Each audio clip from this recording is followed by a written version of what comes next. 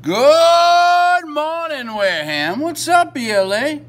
All right, so I'm going to persuade you to write a persuasive article.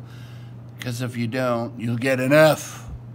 All right, so that would be persuading you through fear. Uh, that'd be ethos. We'll, we'll discuss that uh, tomorrow, actually. But today, we're going to, this week, you're doing a persuasive writing.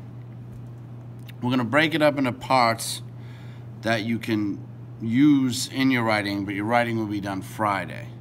But you'll be working your way up to it all week. Um, you're going to watch some videos.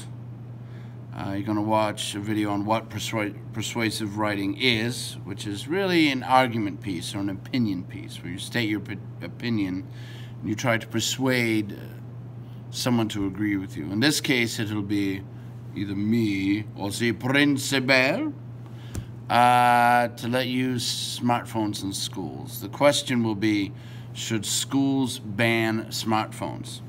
That's going to be the question because that's the way it was stated by the article. So I think we should stay consistent with that. Then the next video is on brainstorming. Um, that's not really going to help you much because I'm picking what to write about. I did that for you already. So you, you can watch the video for when you need to um, but it will help you pick your side, right? Yes or no? All right, then you're going to read the cell phone debate. I have a link for you. I also put cut and pasted on a Google Doc, so I guess you could read that too. But on the uh, link I put up for you, you'll be able to talk to speech. So if you need it read to you, you can click it and it'll read. Okay? Uh, after that, then you're going to watch a video on planning your uh, persuasive essay. So after that, you have a graphic organizer to complete on persuasive writing. Uh, you got to put yes or no, and then you got to put three reasons why you made your selection, okay? Just three basic reasons why. Uh, you can use the article to help you, whatever you need. We just need three basic re reasons, and those can change. We might improve on those later. But I just want to get a feel for you at the beginning to complete that. At any time you want to start writing your paper this week, go ahead. It's on Friday's assignment. You can click on it and start and then fix it and revise it later.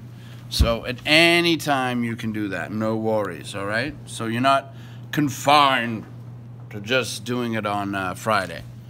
You can start it early if you have extra time. Or not. That, that's up to you.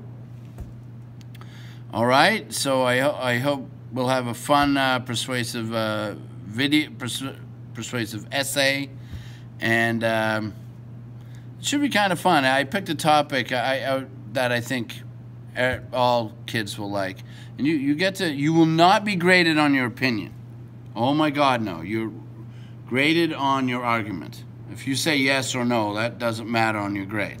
Just how well you defend your answer. All right. Well, good start to the week.